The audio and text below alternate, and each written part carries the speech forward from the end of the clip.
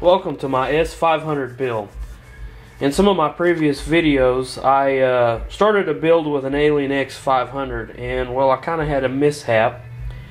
I had, uh, I don't have the package they came in, but I have these uh, HP carbon mix props. Um, this is actually a couple pieces left from what happened. Um, the best I could tell, I believe I had a one of these hubs break in midair on one of the motors, and um, it sent it spiraling down to the ground. And this is what's left of two of the other props. And the reason I think that it broke at the hub is because um, three prop, three motors still had parts of props, and one one motor still had the the washer and the and the nut there still on the motor, but it had no hub there. So that kind of made me think that uh, that's probably what happened. Um, but definitely want to show you these are the HQ. They are, I think they were, I don't know if one of them says on there. Yeah, the 10 4.7 uh, 4.7 carbon fiber mix. I want to show you just how brittle those are. They just snap that easy. Uh, here's the other one. And these are a little thicker on here, out on the towards the hub here. They're a little bit thicker. But as, as you got out to the tip there, um, they were breaking really, really easy. It's kind of like that. So I would not go with those props. They're really stiff, but uh, they seem to be really brittle. But anyway, so that's what happened. I completely destroyed the alien frame, so I decided to start with the S500 frame. Uh, the only addition to that is, is I am now going to be running the Xaircraft Mini X. Um, so far, I've had uh, I've had this flight ready a couple times. Here's the flight controller, really really small, coming with a minimal OSD there.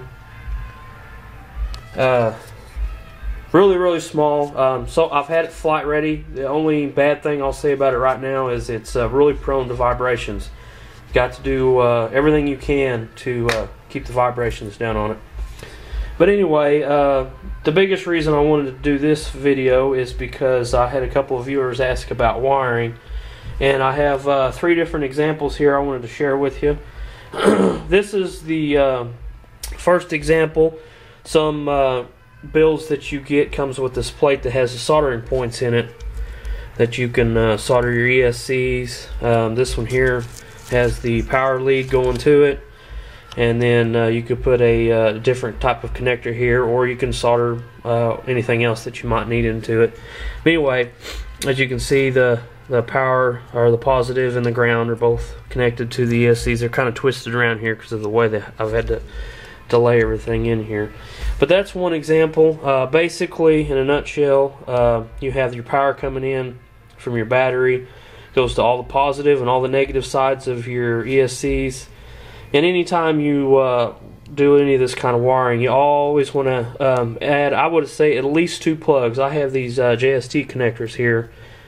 Um, this one here is actually going to be powering the Mini X. It doesn't get power from an ESC like uh, some flight controllers are. Um, but I have this one that runs up to the flight controller. And then I have another plug that's coming down here that's going to be going to the gimbal, which I'm still working on it. Got a power wire going in there. And the only other plug that I'm thinking I might add is for the video. I am considering uh, doing one or two things. I may run uh, 4-cell on this, and if I run 4-cell, uh, I'm going to have issue with the video because I cannot run uh, that much power through the video transmitter and the camera. So I'll probably run a separate flight battery, and if I do stick with the three cells, I may run a separate flight battery um, anyway uh, to kind of help keep the interference down from uh, you know the ESCs and everything. This is a battery that I bought. I think it was in my previous videos. Uh, use it as a flight or for the uh, camera and video transmitter to power those things. but anyway, it's pretty much uh, you know pretty easy to figure out all your positives, positive sides of the uh, the battery, negative size, the negative size of the battery, and just add your plugs ins, your plug-ins for um, different accessories. And depending on what you want to add, uh, you may want to add different more or different type of plugs. so y'all always got to think ahead because sometimes I've done two or three builds and end up wishing I added another plug. But anyway, these are the wires that go to uh, from the ESCs to the flight controller for each motor. Those are pretty self-explanatory. Um, this particular minimum OSD with the Mini X, it has uh, this cord here goes from the flight controller, plugs into this box. And out of this box, you have the AV in and the AV out on both sides. So that's what these are. This will actually go to the camera, the ground, and the video side of the camera. And then this one will go to the video side of the transmitter and the ground wire there as well.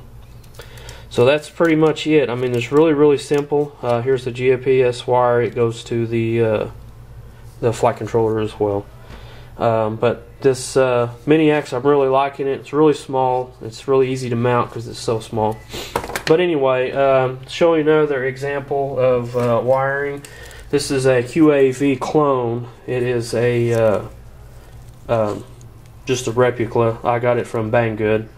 But anyway, um, this particular one here, I ran uh, a power distribution board. And that's what's right there on the back. I think I have one have one laying right here as an example. Power distribution board. It's a little bit different than the one I had in here, but basically that's it. That's another option you can do. I don't typically run the power distribution board because that's just added weight. If I can get away with it, I don't run them. I normally tie everything in together. In my next example, I'll show you what that means. But uh, but with this one, it just kind of worked out, and I haven't quite gotten everything. Uh, I'm going to zip tie all these wires down so they're a little bit more secure and they're not having the chance of moving around like that. But basically, uh, I have the, the, battery coming, or the lead coming in from the battery that's been soldered here. And then, um, accordingly to the board, uh, depending on uh, what type of board you got and how it's set out, you got the positive parts of the board, and then on the inside right here could be the negative, however you want to lay it out. And this would be where your power uh, lead comes in at. And then you just solder those on um, accordingly. And then uh, if, like again, if you uh, plan on doing any kind of accessories, I have uh, these two right here. I have these two SJT plugs right here to run uh, different parts. Uh, one of them on this, this has a Aisin Acro in it. One of these actually goes to the VBAT so I can monitor the uh, power or the flight controller can monitor power. And the other one here is what I was using to run the uh, video and camera and uh, transmitter. So that's pretty easy. I mean, the, the same thing with the ESC wires. They go up to the flight controller and plug in accordingly to uh, motors 1 through 4, depending on what flight controller uh, might be in different orientations. Um, as far as the uh, the motors are from the back side of the ESCs, the three wires. Uh, it really don't matter initially which ones you put in. This particular one, I soldered them straight to the ESCs. Uh, the only problem with that is, is once you do your configuring, you find out that you have one motor spinning the wrong direction. You may have to swap one of the two or two wires. It doesn't matter which ones, as long as you swap them. Um, if you have a motor running backwards. Um, this one here I wanted to build just as light as possible, so I didn't put any plugs like this one here. It has these these plugs here that you can uh, separate and swap the wires if you need to. But on this one here, I wanted to stay as light as possible, so I just kind of omitted as much as I could and just made the wires as short as possible. But anyway, that's that example. The next example is this Nemesis uh, frame here. And this one here, uh, I have the power lead going in, and it's really hard to see it. I'll see if I can get real close. The light in it, right in there. Basically, essentially, what I did is I took all the uh, positive sides of the ESCs, and then the lead coming from the battery, and I soldered them all into one unit, basically. And then on the other side, see if we can look at the ground. Basically, the ground did the same thing. Can't really see it It's really tough to see it. But basically, I took all the wires together, soldered them, and um, of course, and then I, here's my two plugs here. I've got one for the VBAT, and then this one here I have for uh, running the video. Because these things are so small, I don't have room to run a flight battery, so a separate flight battery. And this one here, I am going to be putting a minimal OSD on it. This is the GPS module that actually came off the Alien 500. I'm having issues with vibrations and stuff with that. Um, I haven't really gotten anywhere with this too much. I started getting my parts in for my S500, and I had just been kind of working on that. But that's basically the simple part of uh, the wiring uh, as far as uh, hooking everything up. Of course, uh, depending on uh, what controller you're running, I just got a Taranis Plus, and this is going to be I'm going to be running S Bus with this. And what S Bus is is basically I'm going to be running this one wire for all uh, up to 16 channels with the Taranis. Um, it's capable of running through that one wire.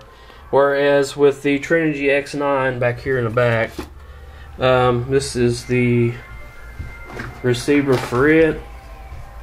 It's an 8 channel receiver, but I have to have a uh, signal wire going to each one of the channels. This one here has the Turnigy receiver in it. I've just taken the case off of it to try to lighten it up. It's just hanging in the back there. And you have to have that breakout cable that breaks out each uh, signal wire going into the Naze32 right there. All that stuff's on Cleanflight, has a wire, uh, the uh, pinouts and stuff like that, so you can figure out what channel goes to what, and so you can configure it in Cleanflight.